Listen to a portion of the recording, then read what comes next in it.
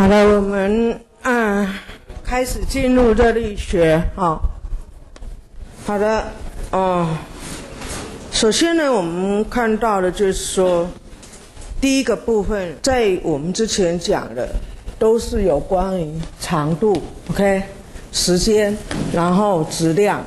那这个呢，这些物理量呢，对应给我们的就是力，OK，然后能量，你所啊推导出来的这个导出量的部分呢，好，然后还有什么？momentum，甚至于是速度，这个是我们啊常常用到的几个这个物理的基本量跟导出量的部分。那我们接着我们看一下啊温度这个东西，嗯。今天很冷，你如何得知今天很冷？就感觉这身体受不了，对不对？那就是你的什么触觉？OK，你的触觉。那你如果把自己关在棉被里面，所有的身体的感官、皮肤都不接触外界，你都你根本就不会接感觉外界很冷，对不对？那。棉被本身就是你的什么绝缘的一个类似我们在实验室里面做仪器，哎，做那个啊，你们那个热容量，你们有没有做过热容量的实验？那热容量实验不是有两层吗？中间里面的那一杯跟外杯的部分，中间是隔了什么空气？那空气主要就是空气本身并不是那么好的导体，那所以。棉被本身呢是一个啊绝缘，让你跟外界空气绝缘的一个最重要的部分。那这个是一个主观的，这是我们主观意识所得到的。虽然你用到的都是物理原理，那你现在你再想一想，你希望你的被子，以前你知道以前很老的时候你。如果你的祖母辈的时候，你会发现说他们要打棉被要用算几斤几斤，对不对？那棉花，那越重的越好，因为为什么？那棉花的容量越多，它希望能够隔绝的空气越多。但是你会发现说，你现在买的棉被怎样？要越轻越好，不是蚕丝被就是羽绒被，都是要越轻越好。所以。这些东西是不是那个东西可以隔绝？基本上面还是要看某些定义。这个定义就是说，你如何去测量这个 temperature 的部分。那我们平常你看到的，你这个温度计，OK？那这个你这个温度计的部分的话呢，哎。我们可以，你有液体的温度计，那也有固体的温度计。这些温度计的部分的话呢，我们，把它写在液体过固体的温度计，直接写在这里，liquid 过 solid。那这个液液体过物体固体的温度计呢，基本上面啊，对液体的温度计来讲，哦，应该是气体固体比较哦。不容易去测量，你都是平常我们用到的大部分都是液体的温度计。那液体的温度计就像你们在做实验室的那个水水银的啊那个温度计，或者是酒精的温度计。那气体的温度计呢？我们可以看到这些温度计里面呢，气体也会随着温度来改变。那气体的温度计也是一个可以测量温度改变的一个方式。那基本上面，我们可以看到，你要在测温度的情况之下，那我们说，我希望它是在定容，所谓的定容就是 constant volume。然后呢，它如果是气体的温度计呢，简单的来讲就是。你的气体的量，这是气体，这个气体的量呢是已经是固定的了。那在这个地方呢，你就是接一个你的 pressure，你的气体压力的测量计。那在这样子的一个啊改变的情况之下，外界的温度在变化的时候，那这个气体会随着什么？这个气体的量会随着温度的改变的话呢，我们这个。容积已经把它 constant 了，但是里面的压力会随着温度来改变。那我们就去测量压力跟这个温度的关系，这个就是定容的气体温度计。那这个我们等一下我们会在呃琢磨来看待。那另外一种的部分的话，就是电阻温度计。那我们都知道说，如果是一个金属的话，OK，那这个金属的电阻本身啊，好，它其实是跟温度有关系的。那一般的金属，它会随着温度的升高，然后它的电阻会增加，OK，所以在这个这是对金属而言，大概是这种情况。那如果不是金属，这个曲线就不是这样子了哈。半导体呀等等就不是这样子，所以你就可以依照外界温度的改变，它的电阻的这个呃的比例值呢，反过来测量。我去测量你的温度，哎，我去测量你的电阻，那电阻呢对应下来就是你现在的温度了。OK。好，这是电阻温度计的部分。那另外，我们可以看到，这是热热电偶。那热电偶温度计的部分呢，基本上它最简单的原理呢，是我们可以看到的，就是说，这里是两片的不同的金属，金属 A，然后这是金属 B。那这两个金属呢？基本上面，老师也许现在画这个图，你们不会很了解。我们说我们这个金属 A 的部分呢，你电子填充填充，这是一个能阶图。那你把电子填充的最高能阶就是它们的惠米能阶，OK？那每一个不同的金属的话，它的惠米能阶是不一样的。所以电子因为金属 A 跟金属 B。原子核外面的电子的数目不一样，多，所以惠米能阶呢，随着金属的不同而改变。那如果我这两个，对，我这两个金属没有 touch，没有 touch 的话，就好像你这个是 open 的情况。那我说这两个金属之间会有一个能阶差。那我说它是因为没有能没有 touch，所以这个能阶差呢，v 是等于零，OK。但是我知道这两个金属之间它的毁灭 energy，它有一个 energy 的 difference。那平常我们怎么知道它的毁灭 energy 是有差别呢？那直接讲白了就是说，如果要从这个金属电子拿出来的话，它需要做工做这么多。那要从 B 金属把电子拿出来的话，它需要做工做这么多。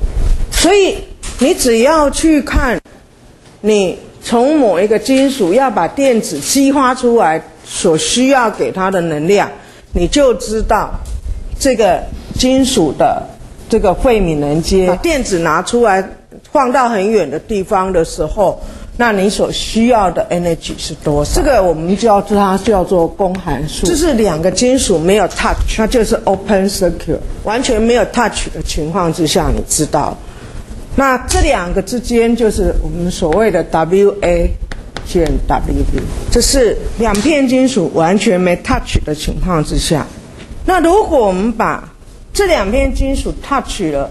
那它变成一个 close circuit。那当你 close circuit 的时候呢，这两个高能量的电子会往低能量流，所以呢，我们就看到了我们这边这高能量的电子往低能量流啊，所以这边的能量，ener 呃这个 energy 就下降，这边能量就上升了。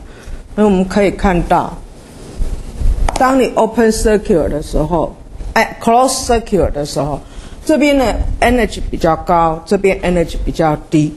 那你可以看到的，这两边最后流到最后是什么？这两个电位是相同的。那这是 close 的时候。这边 close 的时候，那因为你这边的电子流过来了，所以这边的一定是带正电，那这边是带负电，所以我们知道两边流过来以后，我们可以看到这个的 energy 呢，那 A 的金属跟 B 的金属之间，它有一个电位差出，那这个电位差是多少？这电位差就相当于说。我 B 这个金属要把我的电子移掉的所需要的能量，跟 A 这个金属要把我电子移掉所需要的能量，它们之间这个电位差的倾斜度就是我们这边的 W A plus 减 W B，那这个就是热电偶温。温度计的一个由来，所以你平常你看到很多的温度计，那实际上它是两片金属，不同的金属放在一起而已。那因为你把它接通了以后的话呢，那它就有一个 potential energy 的部分。那这个热电哦温度计，你可以去测量你所有的啊，在这个。啊，灵敏度范围里面的温度，这也是一个很好的一个温度计。那我们平常我们怎么使用它呢？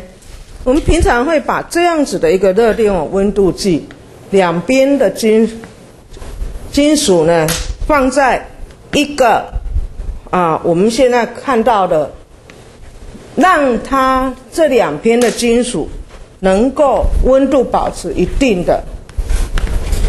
一个装置里面，那这个温度保持一定的装置，你可以用冰啊等等，反正它就是让这个温度保持一定。那我们把这两个金属呢放进来，那这一端呢就是我们的热电。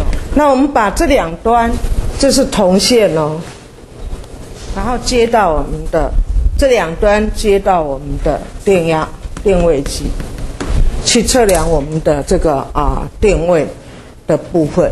那你就可以知道说，到底这个电位差是多少，要去看我们的这个温度的关系。好，那啊，这是这是我们平常我们啊看到的一个热电偶的温度计的情况。除了热电偶温度计以外的话，我们还有一些是属于这个啊光学的温度计。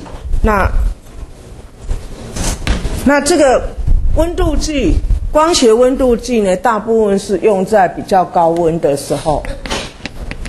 那我们可以看到，因为你不同的温度变化的时候，那温度变化，那我们可以看到这个温度变化，你的发出来的这个波长啊，譬如说我们的这个啊金属的部分的话。基本上面它是跟它的热辐射有关系。那不同的温度变化，你有不同的波长。那你因为你去测量你发射出来的波长，你就可以知道你的温度变化。所以这个温度随着波长，哎，辐射出来的波长随着温度的变化。那反过来，我们要测温度的时候，就是去测量温度。啊，去测量我们的波长，然后就知道我们的温度变变化。OK，之前这个整个都是用在高温底下的部分。那实际上，你们那个耳温枪啊，我们平常那个 SARS 期间用的耳温枪，其实也是一个很灵敏的一个啊所谓的啊光学的温度计，它是利利用我们的辐射。那这个热辐射的话呢，是不一样的时候，那温度变化的时候，你的热辐射波长是不同，所以你去测量你的波长，你就知道你的温。这是一些。我们的温度计的一个啊，常常使用来测量温度的一个方法。那不管你怎么样去使用你的温度计的部分的话呢，你要达到一个你的温度计一定要有一个条件，就是你灵敏敏灵灵敏度要够，那你要精确度要够，然后你还应该可以复制。那可以复制的部分，你很快的反应速度你也一定要够好。就是达到热平衡的速度。那我们今天我们就来看一下，就是说什么是热平衡？因为你所有的所有的温度计都是要跟外界你要测量的东西去看，你是不是跟它达到热平？那其实这个热平衡的部分呢，就是我们热力学里面的第零定律。这个热力学的第零定律，热力学你一共要学。零加两个定律，它有地理定律，还有两个热力学的定律是很重要的，所以这是第一个地理定律的部分。那我们现在我们就来看一下热力学的地理定律到底是怎么样的情况。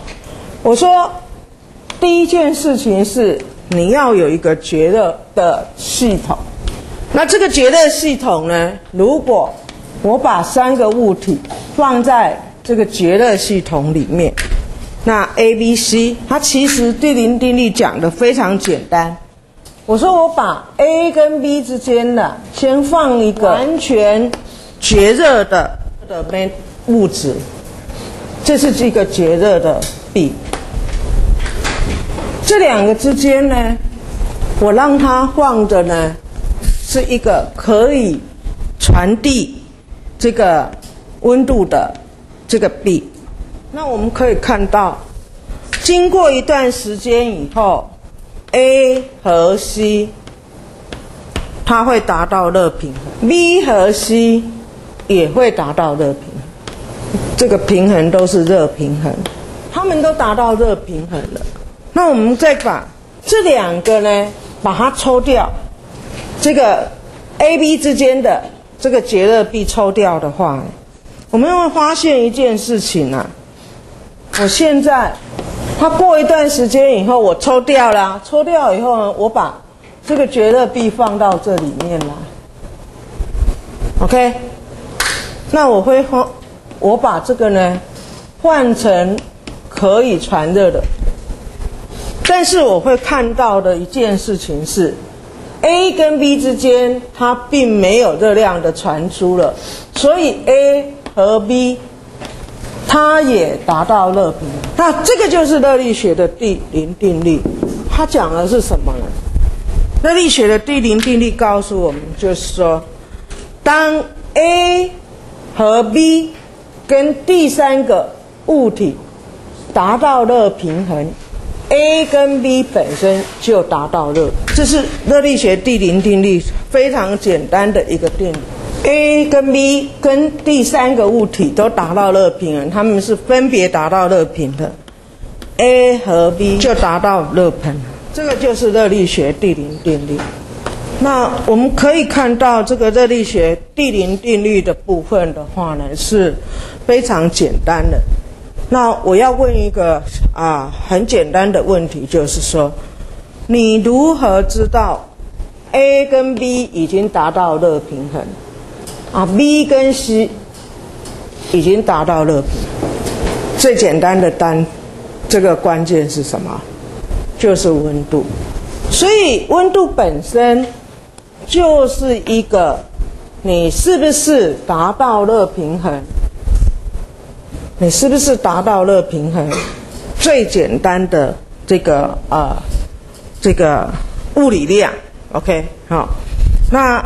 当温度相同的时候，他们就他们有 A 有相同的温度，所以基本上面的话呢，这个是我们看它是不是有达到热平衡的一个最主要的一个条件哈，就是它们的温度是相同。好，那你大概能够理解说温度所带来的一个啊，在热力学里面的一个重要性以后。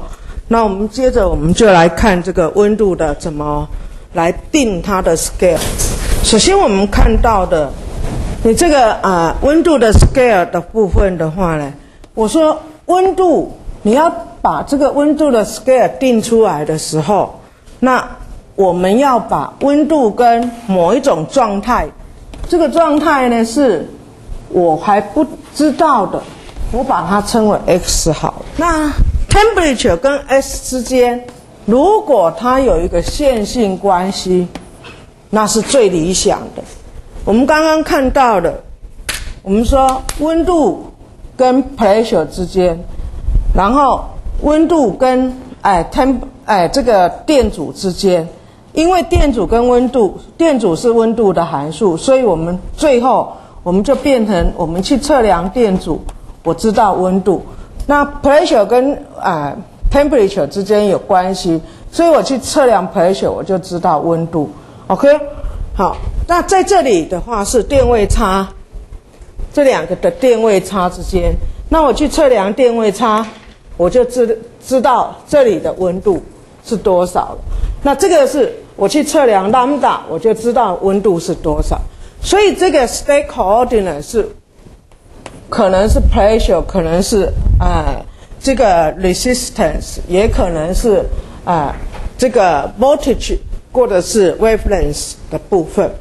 那这个本身到底是什么？那要看我们自己的定义来讲。我们可以看到的就是说，目前我们常常用到这个啊这个 state 呢，是我们去选择水的三项点。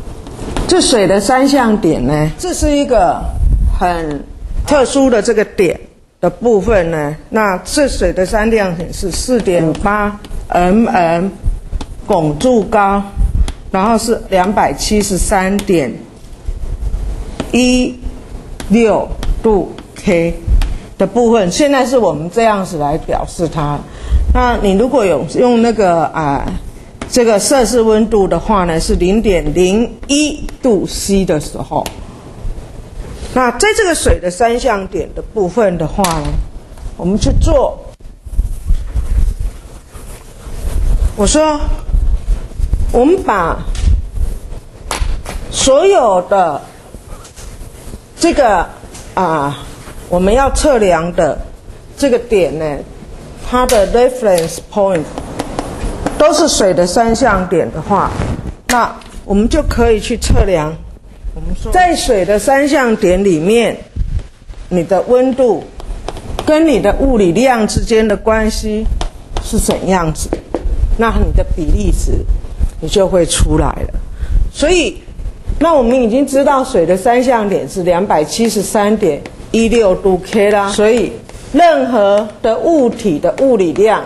我要测量的这个物理量，在水的三项点的部分是什么？那你就把它放进来。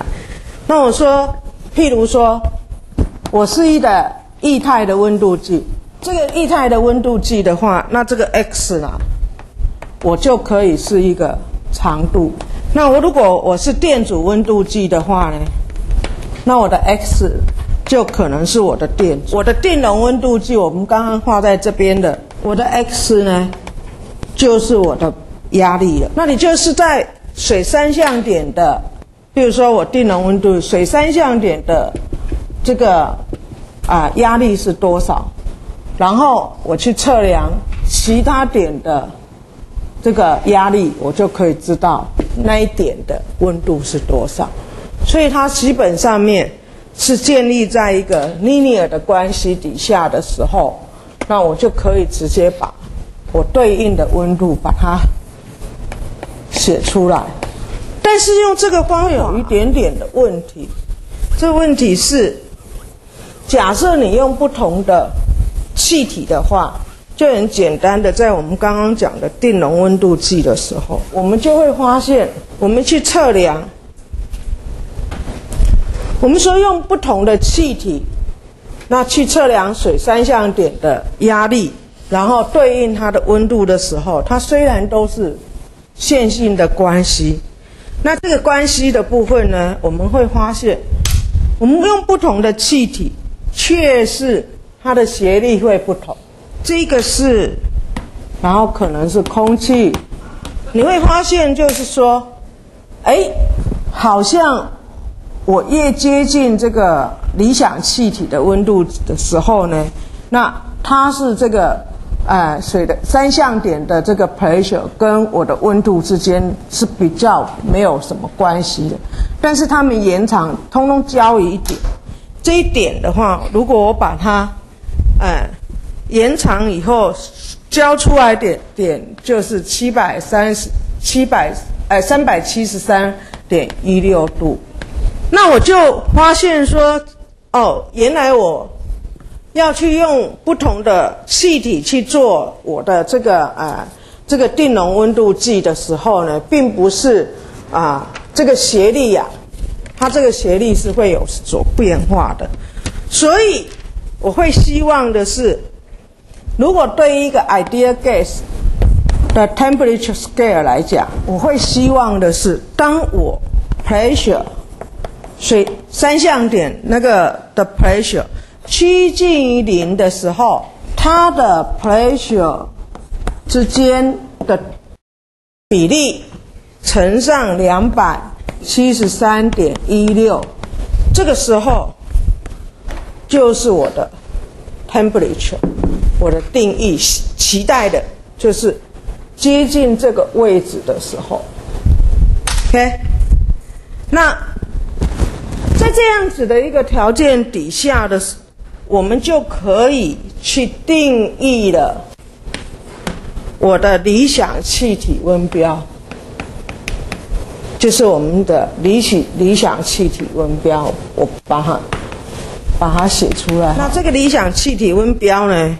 也就是我们现在我们所啊这个使用的这个克氏温标的部分，那这个克氏温标就定义了一个绝对零度的，定义了一个绝对零度出来了。所以你在克氏温标里面，我说这个克氏温标 Tk。